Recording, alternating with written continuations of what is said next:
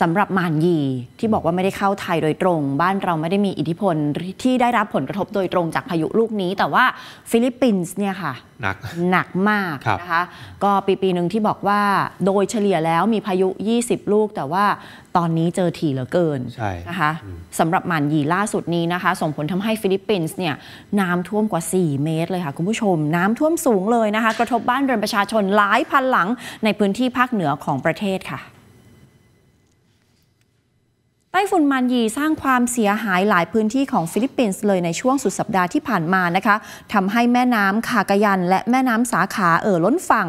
บีบให้ทางการต้องระบายน้ำออกจากเขื่อนมากัดทำให้น้ำไหลหลากเข้าท่วมพื้นที่การเกษตรและชุมชนต่างๆ จนส่งผลกระทบต่อประชาชน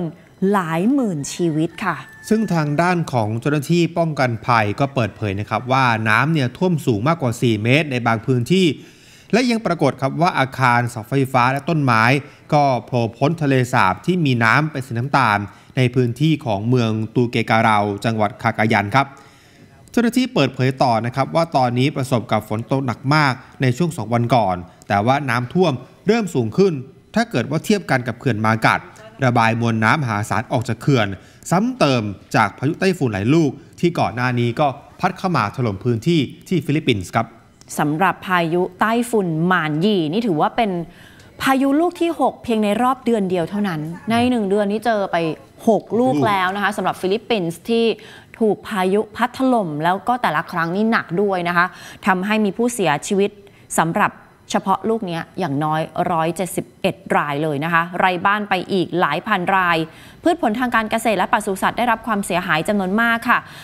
อย่างที่บอกไปว่าในแต่ละปีจะมีพายุลูกใหญ่ๆ และใต้ฝุ่นประมาณ 20 ลูกที่ฟิลิปปินส์จะต้องเผชิญ จะมีพายุเหล่านี้พัดถล่มเข้ามารวมไปถึงกินบริเวณพื้นที่โดยรอบ และส่งผลทำให้มีผู้เสียชีวิตจำนวนมาก แต่ไม่ค่อยเกิดเหตุการณ์สภาพอากาศรุนแรงอย่างหลาย ๆ ครั้งในช่วงเวลาสั้น ๆ แบบนี้ ที่บอกว่า 1 เดือนเจอไป 6 ลูกเนี่ยค่ะ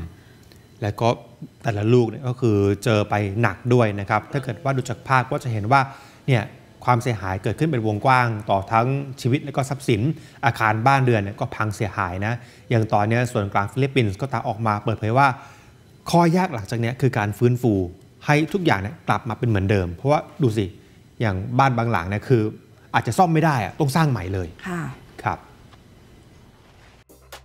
ขอบพระคุณที่ติดตามรับชม TN News ข่าวเช้านะคะ คุณผู้ชมอย่าลืมติดตามกด subscribe กดกระดิ่ง กดไลค์ กดแชร์ทุกช่องทางออนไลน์ของ TNN ช่อง 16 เพื่อไม่พลาดการติดตามรับชมรายการสดและคลิปวิดีโออื่น ๆ ที่น่าสนใจอีกมากมายค่ะ